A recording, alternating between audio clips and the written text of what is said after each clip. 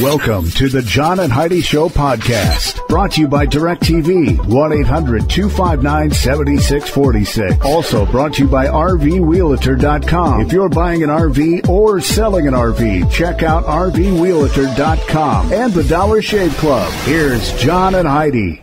Thank you so much for listening to the John and Heidi Show on a Tuesday. Holy cow, it's already Tuesday. You know what that means, Heidi? What does that mean? It means we're going to call and talk to your daddy today. Very cool. Oh, I forgot to say, how are you doing this this fine Tuesday? I'm good. I'm good. Yeah, it's good. I'm, I'm really glad to have you here. Uh, coming up later in the program, we've got a guest, your crazy father, for Tuesdays with Charlie. Uh, then later, uh, we've got a lot of fun stuff that we're going to talk about, and hopefully make people laugh, make them smile, maybe maybe maybe make them think a while. I kind of stuttered through that, uh, but I want to tell you about this right now. Northampton College in England, they created a course to teach people how to make a living on eBay. Oh wow. Yeah, there's a course, a college course now, to learn how to quote make a living using eBay. Do you think that's a college course? No, Is that worthy of a college to course? To, need to go to college for yeah, that. if you're gonna go, if you want to make a living on eBay, you don't need to go to school for that. Just go on eBay and start making your living. Hmm. I'm not exactly sure how. Maybe they need a college course on that. I don't think so. All right. Coming up, we're going to talk about what special things are happening today. That's on the way. This portion of the program is brought to you by Dollar Shave Club. Get razors for $1 a month plus a few bucks shipping. So you can enjoy fresh razors every month for as little as $3. Learn more at dollarshaveclub.com slash radio. Today is a special day, Heidi. Do you know what today is? What is today, John? Thought you'd never ask. It's Tuesday, February the 16th, and today is Kyoto Protocol Day.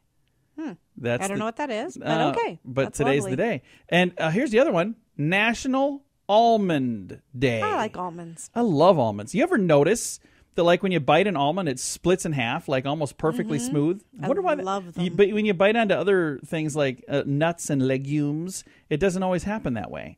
So I wonder what's so special about almonds and why they sliver like that. I don't know. They need a special day just for themselves, and I guess today's the day.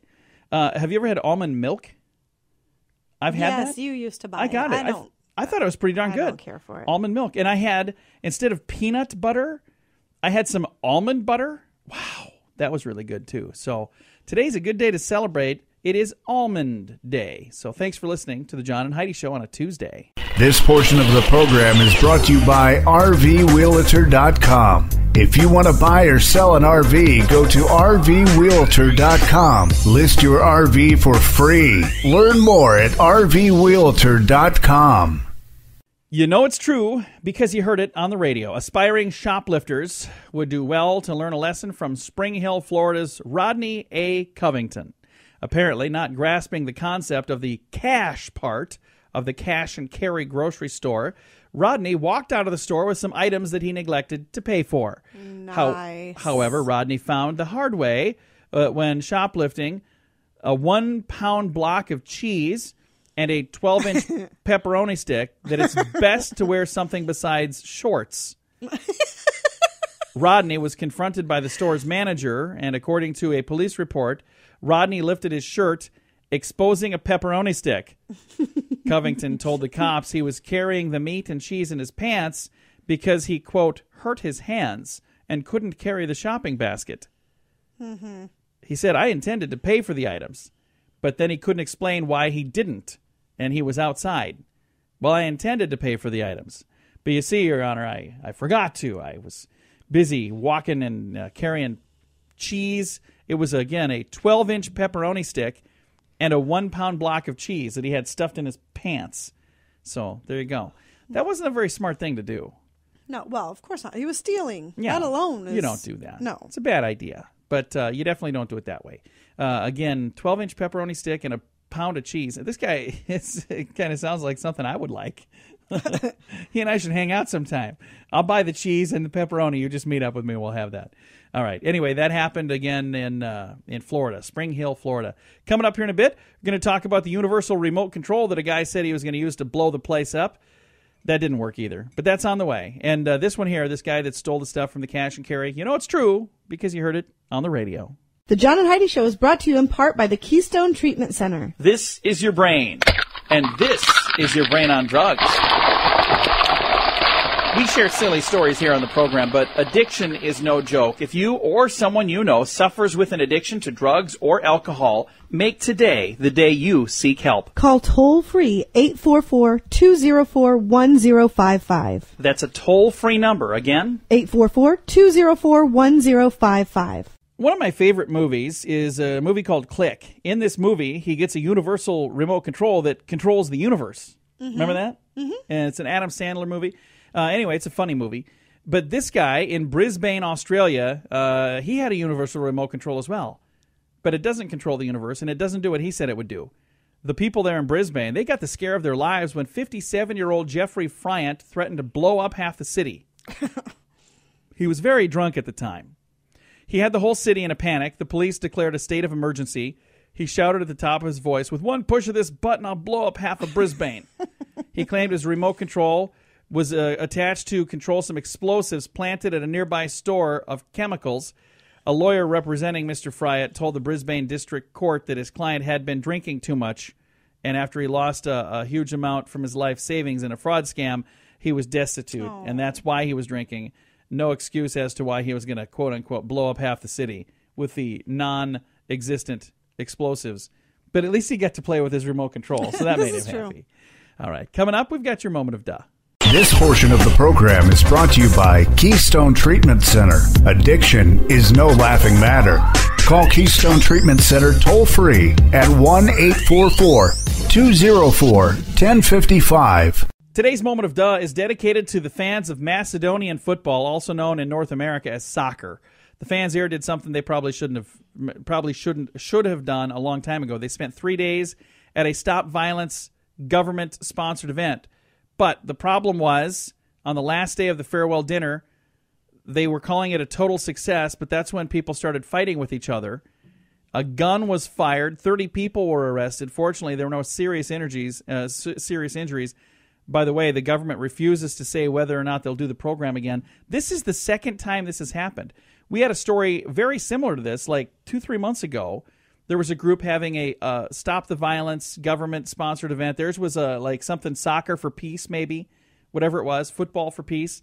Anyway, th these countries are having some issues where their soccer fans they call it football, but their fans are getting out of control. Now, at least two of them have had a, a rally trying to stop that, where it broke out into a fight. Wow. That's kind of ironic. Coming up here in a bit, we have your scoop of the day. The scoop of the day is brought to you by Wells Blue Bunny. If you want delicious ice cream, be sure to look for the Blue Bunny. Sure to have your favorite flavors. Learn more at bluebunny.com. Now, your scoop of the day. A recent study by cybersecurity researchers has found that 24% of Facebook ads selling luxury goods like Ray-Ban sunglasses or Louis Vuitton handbags, they're hawking counterfeit products. Really? Only 24%? I thought it would be much higher than that. Buy some of these fabulous Ray-Ban sunglasses for just pennies on the dollar. You're like, yeah, I'm sure those aren't real. Hey, another stereotype has been shattered as we learn that men love to shop. What? As long as they can do it from home. According to a survey by iProspect, I still don't think so. it says men shop from home. No, I don't. I don't like to shop online. I'm not going to do that. Men are spending more money shopping online than women, though. Guys are spending 20 to 30 percent more per transaction, and 84 percent of the purchases are for who, Heidi? themselves. Themselves. It, it is exactly the number one website for dudes. By the way, uh, site I've never heard of these guys. Have you heard of the Amazon? Something like that. yeah, that's that's where they're going. Hey, another reason not to drive while tired. According to a survey by AAA Washington D.C., nine of ten police officers there have thought a driver was drunk when they realized that they weren't drunk. They were just too tired to be driving. So they were not drunk. They were just tired. So That's not good if it No. gives you the same. If Yeah. it gives officers the same impression. Exactly. You're swerving and doing safe. drunk stuff when you're really just tired. Hey, it seems that Lorna Jean Dudash of Aloha, Oregon, that's just fun to say, became smitten with the deputy who came to her door to respond to a noise complaint by her neighbor. So she was making too much noise, and they, this officer came and told her, "Hey, you need to keep it down." Well, Lorna thought, "Wow, that that guy is pretty hot." So she dialed nine one one. Oh, She said, "Hey, I don't know who the guy was, but he's the cutest cop I've seen in a long time. I'd just like to know his name. I know I don't have an emergency, but can you have him come back out here?" And guess what? He did come back out. I bet. But he came out to give her a fine For abusing 911 for several thousand dollars and could be a year in jail. Oh, She was arrested boy. and she could face a fine of several thousand bucks and a year in jail. So hopefully it was worth it there, Lorna. Uh, and again, that was in uh, Aloha, Oregon. See, I just wanted to say it again. Wow. A Canadian thief was getting ready to steal a car. Seems like a pretty stiff penalty. That doesn't does. It? Well, it up to. So I don't know that it's going to but even necessarily just be that. going to jail. Yeah. That seems Up a to. bit harsh. I well, you know, don't mess with the system. Canadian thief was getting ready to steal a car and it wouldn't start, so he was uh, deciding I'm going to ask for some help, and there was a policeman there, Uh-oh. plain clothes policeman. So at least he didn't know he was a policeman. The teenager had the hood of a '97 Chevy Blazer up. The officer passed. Not realizing it was a cop, he asked if he would help him start his car. The policeman offered him a hand before realizing it was a stolen car. After he figured it out, though, he arrested the 16 year old boy, charged him with possession of stolen goods. I wonder how that went down. How did he find out that it was a stolen car? I don't, know. And our final story here people spent an insane amount of money on apps last year. Now, have you ever paid for an app, Heidi? Never. I've never, And I wouldn't. ever, ever paid for an app. I've got some free apps, but I don't even use those.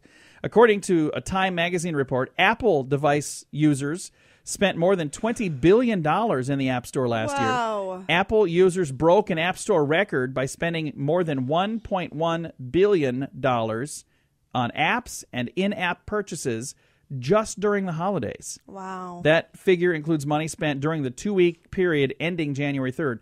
New Year's Day, by the way, was the biggest day the App Store ever had in the history. $144 million spent in the 24 hour period that we refer to as New Year's Day. that is insane. so, what in the world were they doing? I've You're never spent a hungover, penny. You're in bed. You can't go anywhere. My God, I buy, I buy a pizza from an app. I've Been on this level on Candy Crush forever. I need to buy some. I don't know. I've never paid ever for an app. And I'm not saying that you're crazy if you do. That's up to you. You do your thing. Hey, you ready for strange law? Sure. In Muncie, Illinois, it's illegal to carry a tackle box into a cemetery. Oh. That's kind of weird. That's why we call it the strange law. And this has been your scoop of the day. This portion of the program is brought to you by RoughToughKennels.com. Dog kennels and accessories sent to your front door wherever you live. Your dog deserves it. Learn more at RoughToughKennels.com. And it's time right now for my favorite program, something we do every Tuesday just because we can. We pick up the phone, we call my father-in-law for a little segment we like to call Tuesdays, Tuesdays with, with Charlie. Charlie. How you doing, Charlie? It's Tuesday, isn't it? It is Tuesday. Yes. You know, that's the only day of the week I know what it is because I get a collect call. Yeah, well, we do our, our very best to make sure that you know that today's Tuesday. Well, good. So, what kind of stuff we going to learn about today, Charlie? Did you know that the wealthiest 85 people on the planet, just 85 people, have more money than the poorest 3.5 billion people combined? Wow.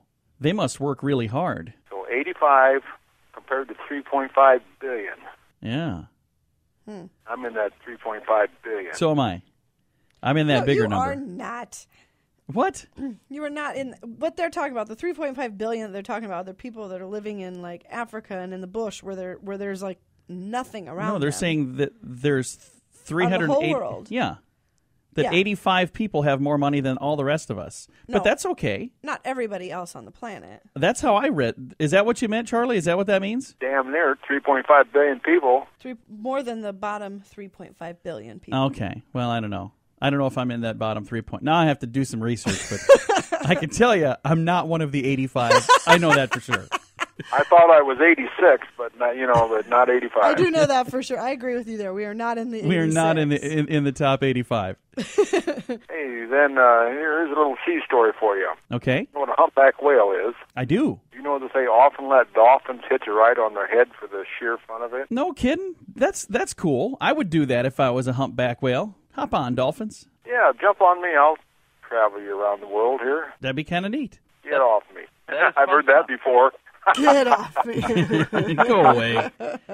I just I just had a, a statistic here uh, about dolphins, and this is something we're going to be talking about later in the program. But I'll share it now since you mentioned dolphins.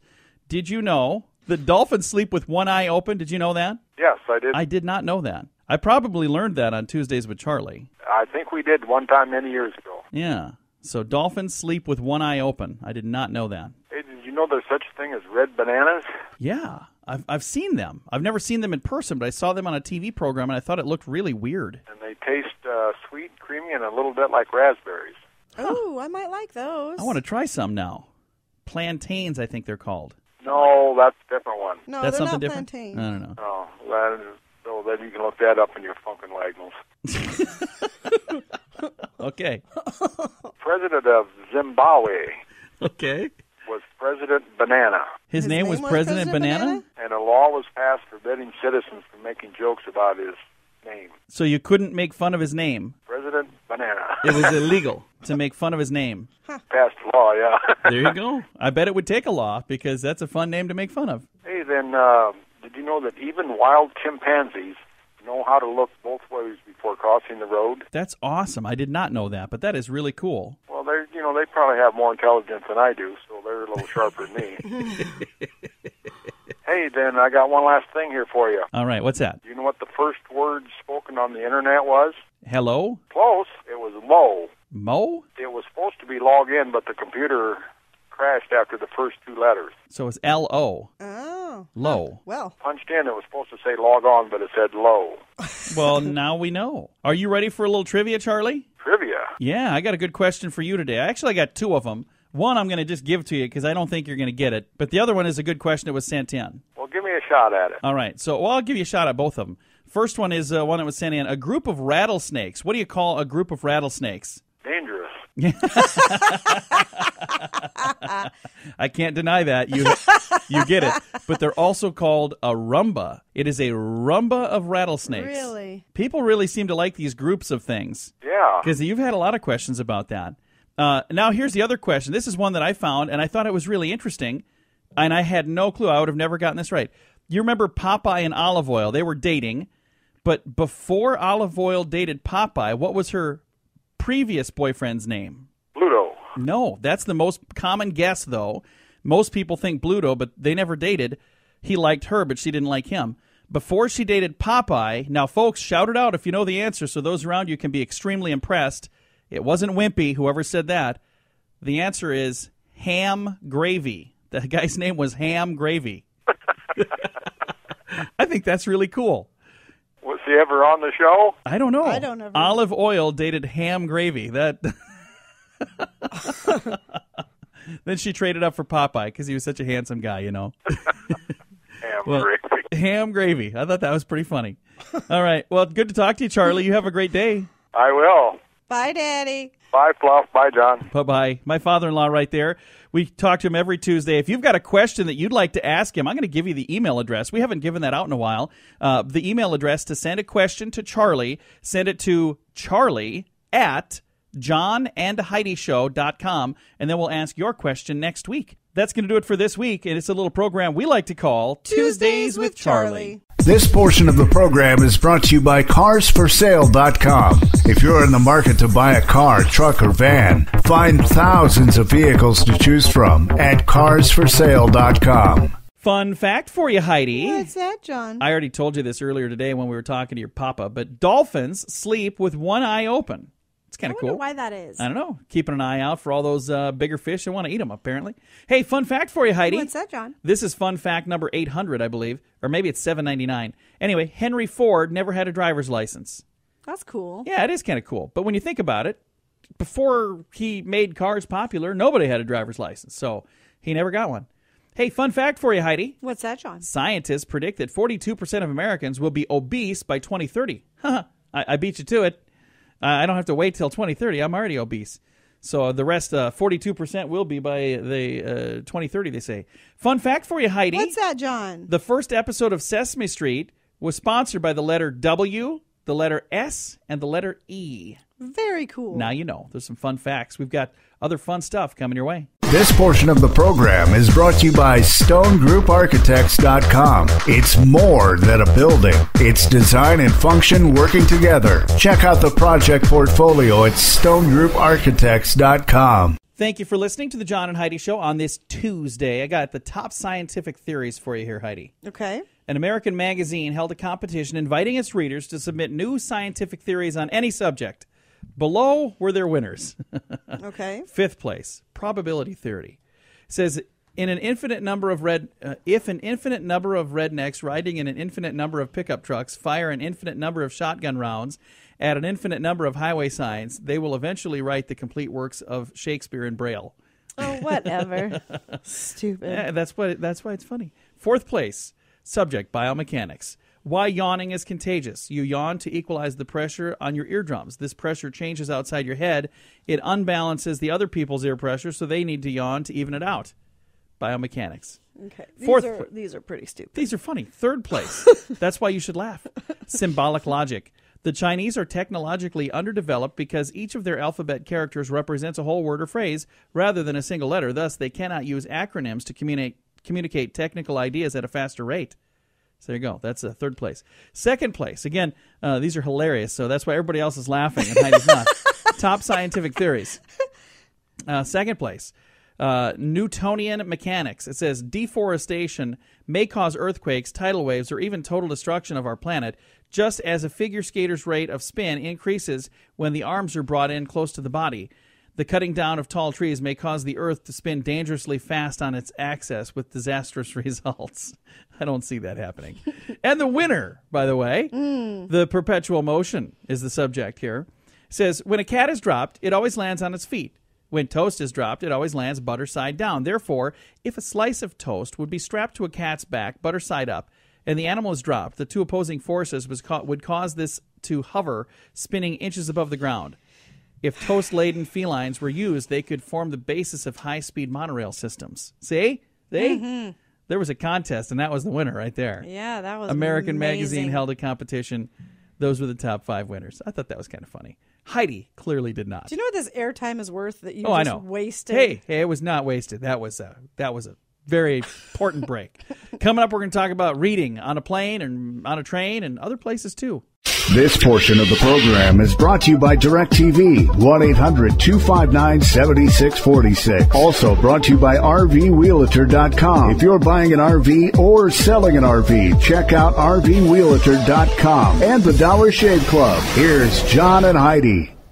Reading is a good way to pass the time if you're riding on an airplane or if you're riding on a train, but not while you're driving. Somebody should have told that to 37 year old Bettina Smallman, seen driving erratically down a street in Brockville, Ontario. Police believe she might be intoxicated and tempted to pull her over. She finally did. Police found that she wasn't drunk. She was engrossed in a book she was reading Wow, while driving. so so crazy. Not only was she distracted from driving, but it took her a while before she even noticed the officer Oh signa- signaling her pull over. So that's how into the book she was. Here's the thing: if you're oh, that into a book, man. stay, Stay home. home. Wherever you're going, just don't go. Or maybe put the book down for a bit.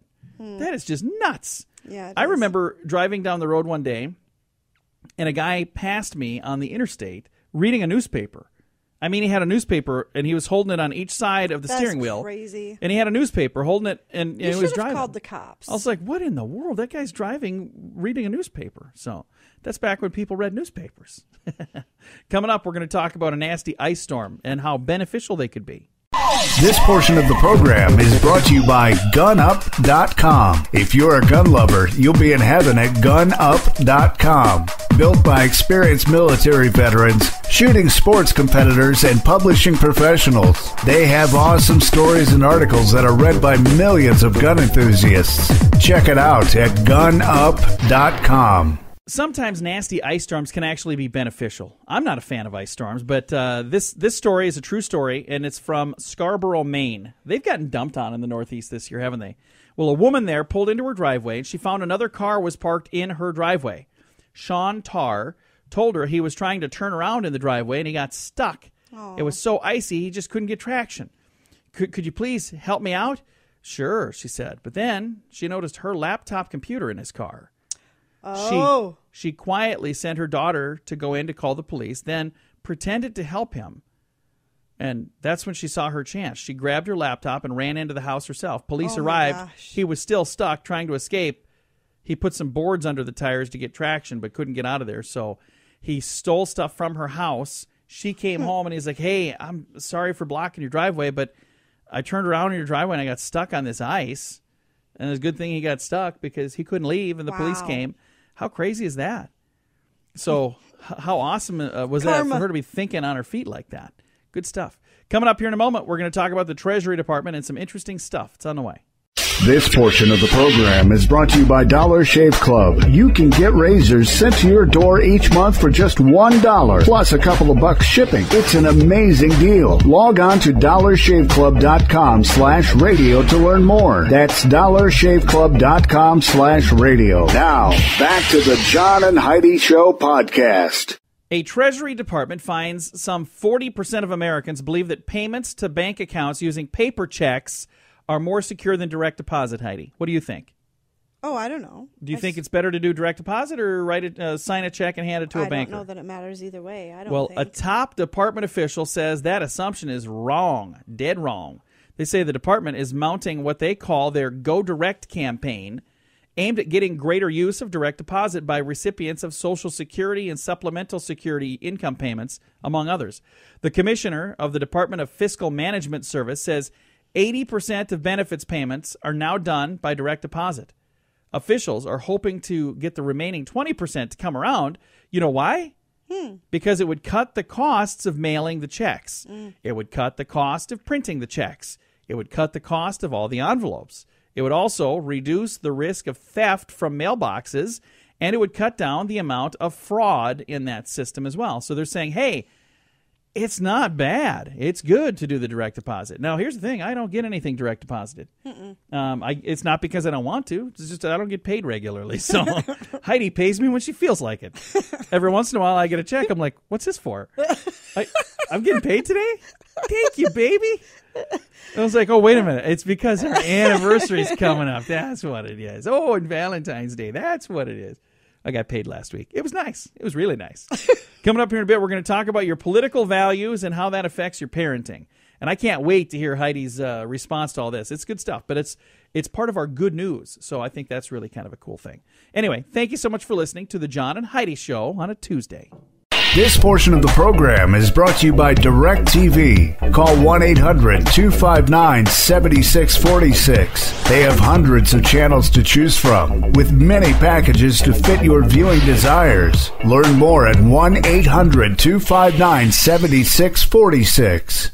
We always try to wrap things up around here with some good news, and I think today is uh, good news as well. This is really kind of an interesting study. They do studies all the time, right? Yeah. Sometimes you agree with them, and sometimes you mock them. Yeah. I think you're going to like this one. Do your political values affect your parenting values? What do you think? Yes or no? yes. I think so too. A Pew Research Center study seems to indicate that they do. Respondents to the study were given a list of 12 traits important to teach children and were asked to pick the ones that were the most important, not just any ones, but the top three. They said, Tell me the top three most important things that you need to pass on to your children. The study found that those who uh, listed conservatism as their main political values consistently listed traits like being responsible mm-hmm. and hard work mm-hmm. and religious faith. Those were the top 3 mm-hmm. as the most important things. While those consistently listing liberal as their main emphasis consistently listed empathy for others and helping others in their top mm-hmm. three. So I think that's really kind of an interesting. You can check the entire chart on their website. I'm going to actually throw a link on our Facebook page, facebook.com slash John and Heidi thing, Show. Though, if you're Yeah. teaching your children Christianity and religion, they're going to automatically learn empathy and caring for others. Yeah. So, So that's in there too, you're saying. yeah, oh yeah. So the conservatives are definitely teaching that to their children. I wonder which way They're Heidi just not leans. turning them into a bunch of whiny little pansies. what are you talking about? I wonder which way she leans. Anybody want to guess? I, I tend to. You know how difficult it is during a political year for us to do this program because I, I say we don't want to be a political program. I just don't want to go there because, you know, I know some of you are leaning to the left. I love you. Those of you that lean to the right, I love you. Uh, some of you don't care. I love you too. But when I work with Heidi, my wonderful wife of 16 plus years now, she makes it difficult sometimes to make that happen. So, time to say goodbye, Heidi. Goodbye, Heidi. Goodbye, everybody. Have a great day.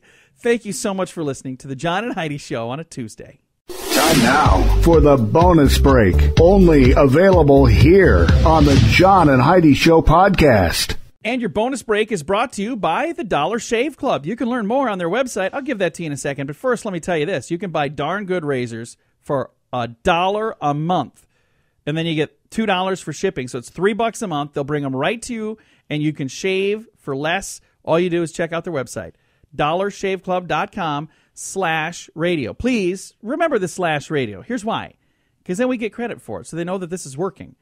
dollarshaveclub.com slash radio. Tell your friends, too. Hey, blame it on the jeans, Heidi. All right. Sean Eldon Duvall's response to charges he pointed a loaded pistol at a Southwest Pennsylvania regional police detective. According to court documents, the officer asked Duvall if he needed help. Duvall says he was stopped, stopping at his friend's house to play chess. Duvall told the officer that he had a concealed carry permit for his gun, which was lying on the seat of his car. Duvall says he couldn't carry the gun as required because his jeans were too tight. The detective charged charge uh, the de- detective charges the gun was hidden under papers and aimed at him. Duvall says he didn't purposely point the gun at the officer. Duvall tells uh, Duvall will tell his story to a judge in a couple of weeks when they get to go to court for it. But he's saying, you know, I have a permit to carry this thing in my pants, And as long as he disclosed it to the officer, and he did disclose problem? it. So I'm not sure. He's saying blaming it on the tight jeans. That's why it was sitting there instead of tucked in my pants. So uh, I hope he was being responsible, and I guess all that's going to come out, and we'll we'll find out. May look easy in the movies, but a bank heist in Australia didn't go so darn well. The crooks there intended to, you know, rob a bank. Well, that's not quite what happened. Three men wearing dark hooded tops entered a bank. They produced a gun and they demanded money. Instead of handing over the loot, the staff calmly left their seats, walked into a secure room made from floor to ceiling bulletproof plexiglass, and shut the door behind them. Of course, half a dozen cus- customers left behind probably weren't thrilled to be stuck with the robbers, but it all ended peacefully as the crooks gave up and left empty handed. So, wait a minute. They left all the customers out with the bad guys? Are you kidding me? they all walked in a room that's uh, you know bulletproof glass. They're like, "Sorry, we're not giving you any money." Well, we're going to just start shooting your customers in. That's fine. We got a lot of customers. I don't understand that. Does that seem ridiculous to you? Uh huh. I just don't get that. That seems absolutely ridiculous. All right, hey, we're going to get one last thing in here. Uh, whether personal errands or catching up on sleep or just relaxing, Americans are using sick time more than for more than just the common cold. It says here one third of U.S. workers say they've played hooky from work over the last 12 months. This is from a Career Builder survey. 35% of workers admit that they've called in sick when they weren't really sick at least once. You ever do that, Heidi? Oh yeah, I've called in sick Hey. before when I wasn't sick. Here at the radio station? No. You better not. I'll catch you. One in 10 said they do this three or more times a year. Uh, it says here employees are becoming more crafty with their excuses, too. Employers told Career Builder some of the most unusual excuses they've heard for the reason somebody's coming or not coming in. Uh, here are a few. Number one on the list I was sprayed by a skunk. I can't make it in today. I really stink. I got sprayed by a skunk. I and can like, see that. Yeah, stay home. Another one. I tripped over my dog and I got knocked out. I could see that. I was unconscious. If you hit your head on a table or something. Bonked my noggin. Another one that's interesting. I was arrested as a result of mistaken identity. Another one. I forgot to come back to work after lunch. What? I just forgot to come back to work after yeah, lunch, so they just not- stayed That home. one's not a good excuse. Uh, I can't make it in today. Why not? I can't find my shoes. Okay, you wear a different pair of shoes. Can't make it in today. Why not? I hurt myself bowling. I could see that. Uh, when I say I can't make it in, you ask me why not. Can't make it in today, Heidi. Why not? I was spit on by a venomous snake. That would that would be a good reason. Spit on or bit? Are those two different things? Uh, Heidi, I can't make it to work today. Why not? Totaled my wife's Jeep in a collision with a cow. I could see that. Can't make it in today, baby. Why not? My curlers burned my hair, and I have to go to the hairdresser. Can't make it in today. Why not? I'm eloping. Okay. Wow. Can't make it in today. Why not? My cat unplugged my alarm clock again. and my favorite on the list here. Can't make it in today. Why not? Well, I have to be there for my husband's grand jury trial. Oh my gosh, that's a good reason. Uh, here's some others, by the way, that were not on the list. But if you'd like to, you know, if you're if you're working on ways to play hooky, you can you can also say my fish is sick. I need to take him to the vet. That's always a good one. I can't make it in. I have a chance of uh, filling in for somebody on jury duty. You know, just in case they call, I need to stick around. Can't make it in today because if I come into work, I got these eye troubles here. I just can't see myself working today. How about this one? I can't come into work today because I'll be stalking my previous boss who fired me for not showing up for work one time. Whoa. so I'm going to be busy with that. So yeah, that's probably probably not, not going to be able to make it in. Um, I'd love to come in. I can't because I got my arm stuck in one of those blood pressure machines. I'm, I'm stuck at Walmart for the week. for uh, the week. Not going to be able to come in today because my computer got a virus, and my computer means a lot more to me than my job does. Whoa. and the last one, this one I think is really funny. I'm not going to be able to make it into work today, Heidi. Why not? Well, I woke up this morning and I took two Ex-Lax instead of two Prozac. So oh boy, yeah. I'm going to stick close it. to the bathroom.